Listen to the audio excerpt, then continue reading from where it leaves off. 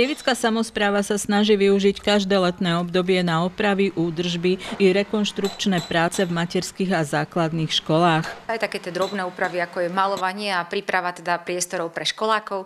Takže v tomto duchu sme pokračovali aj tento rok a tieto práce sme proste urobili.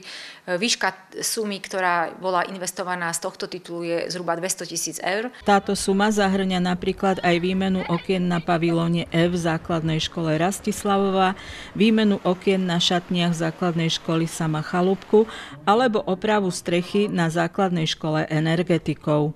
Okrem toho momentálne sme teda e, realizujeme veľkú rekonštrukciu, generálnu rekonštrukciu materskej škôlky Mišika, kde teda ten náklad je zhruba 930 tisíc eur, čiže naozaj sa jedná o významný výdavok z rozpočtu, ale tešíme sa, že takmer po 50 rokoch tá, táto škôlka sa teda dočkala generálnej obnovy. Ďalšie investície smerujú na financovanie projektu rekonštrukcie dvoch miestností výpočtovej techniky v základnej škole Rastislavova. Tam je teda výdavok plánovaný v sume 60 tisíc eur. Opravy, údržba a rekonštrukčné práce by mali byť ukončené do začiatku školského roka. Robíme preto všetko, aby sa to stihlo, aby sa využil tento priestor, aby samozrejme prevádzka materských a základných škôl nebola od septembra nejakým spôsobom obmedzená.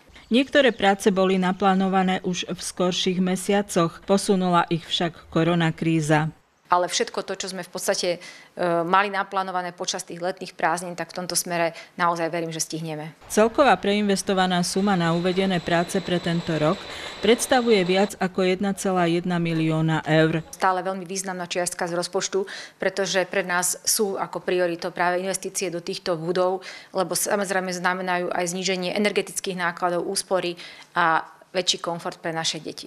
Hoci samozpráva každoročne investuje do modernizácie školských zariadení, sú stále také, ktoré potrebujú finančnú injekciu. Máme ešte napríklad materskú škôlku na Gorkeho, kde teda tá zatiaľ rekonštruovaná nebola. Tie ostatné si myslím, že do veľkej miery už sú zrekonštruované. Ešte materská škôlka športová, ale určite budeme sa snažiť o to, aby sme našli aj mimo rozpočtové zdroje, aby sme ich mohli opraviť, alebo teda hľadať spôsoby, ako to zabezpečiť. A čo sa týka základných škôl, tam priebežne teda sa snažíme tie rekonštrukcie robiť, aj keď tento rok sme teda niektoré výdavky zastavili, myslím, že to boli výdavky práve na okna, ale tiež už vo veľkej miere väčšia časť je už porobená, ale samozrejme ešte sa stále nájde veľa vecí, ktoré treba urobiť.